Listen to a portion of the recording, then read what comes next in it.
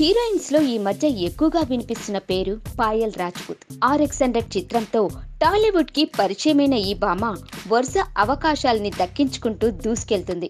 ఇప్పటికే వెంకటేష్ సరసన వెంకీమామ చిత్రంలో నటిస్తున్న ఈ భామ రవితేజ సరసన డిస్కో రాజా చిత్రంలో కూడా నటిస్తుంది. వీటితో పాటు ఓ కోలీవుడ్ చిత్రంలో కూడా చేయబోతుందట. ఇదిలా ఉంటే ఇటీవల ఓ క్రేజీ ఆఫర్ని పాయల్ రిజెక్ట్ చేసిందట. ఇంతకీ ఏ హీరో చిత్రాన్ని రిజెక్ట్ చేసిందనేగా మీ డౌట్? వివరాల్లోకి వెళ్తే పాయల్ టైగర్ నాగేశ్వరరావు బయోపిక్లో నటిస్తుందని మొన్నటి వరకు వార్తలు వచ్చిన సంగతి తెలిసిందే. అయితే పాయల్ ఈ ఆఫర్ని రిజెక్ట్ చేసిందట. పంతొమ్మిది వందల ఎనభై తొంభై దశకాల్లో స్టువర్ట్ పురం గది దొంగగా టైగర్ నాగేశ్వరరావు రూపొందుతుంది. బెల్లంకొండ శ్రీనివాస్ ఈ బయోపిక్లో హీరోగా నటించబోతుండగా వంశీకృష్ణ డైరెక్ట్ చేస్తున్నారు. ప్రస్తుతం ఈ బయోపిక్కి సంబంధించిన ప్రీ ప్రొడక్షన్ పనులు శరావేగంగా జరిగిపోతున్నాయి. ముందుగా హీరోయిన్ పాత్ర కోసం పాయల్ని సంప్రదించారట. ఇందుకోసం భారీ రెమ్యునరేషన్ని కూడా ఆఫర్ చేశారట. అయితే ఈ ఆఫర్ని పాయల్ రిజెక్ట్ చేసిందట. బెల్లంకొండ సినిమాలు పెద్దగా సక్సెస్ కాలేదు.